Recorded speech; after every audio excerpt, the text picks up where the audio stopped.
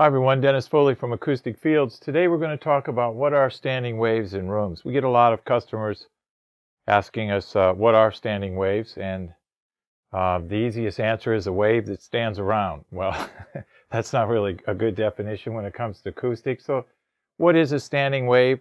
It's called a standing wave because it's really not standing, but it's in a position in your room. It's a pressure area and it's a result of pressure, low frequency pressure, not fitting in your room.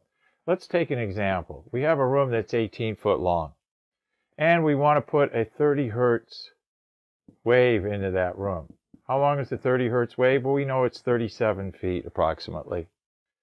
We have an 18 foot room. How does a 37 foot wave fit in an 18 foot room? It doesn't. So the excess energy you want to. So if you want to subtract 18 from that and you get 19 feet, where does it go? Well, some of it goes back into the room is reflected, some goes through the room, some stays at the boundary surface and accumulates. And that's where you get standing waves. think of it, sorry, think of a standing wave as the loud guy at the bar the guy who's really been drinking too much and he's really loud and the volume of his voice stands out amongst everybody else, that's a standing wave. That, that's an area of high pressure within the room that's louder than the average people in the room speaking. So it's an area of pressure that we're, we don't want. The pressure areas are usually along our boundary surfaces here, but we also have the pressure areas throughout the room itself. And the advantages of all that, or disadvantages of all that, if your listening position is in one of those pressure areas, or your speakers are in one of those pressure areas, then you have speaker and pressure. Then you have listening position and pressure. That's not what we want. We don't want any pressure reflected in our speakers or our listening position. So a standing wave is an area of pressure usually found in the room center. It has a width, height, and a depth to it. And it also has a frequency of resonance.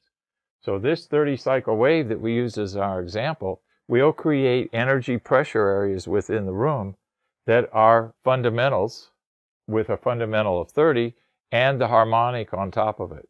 So they're very powerful. So depending on the dimension and the volume of the room, they can be plus 10, plus 15, plus 20 dB in some situations.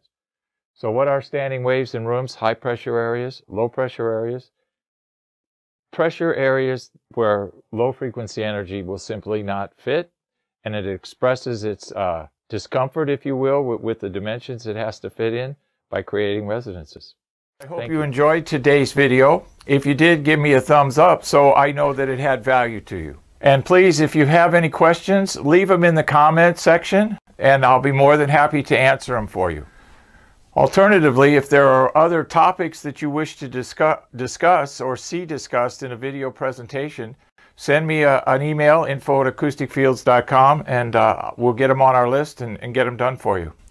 I release a new uh, video about every week, so stay tuned to our YouTube channel and keep uh, updated on our new videos.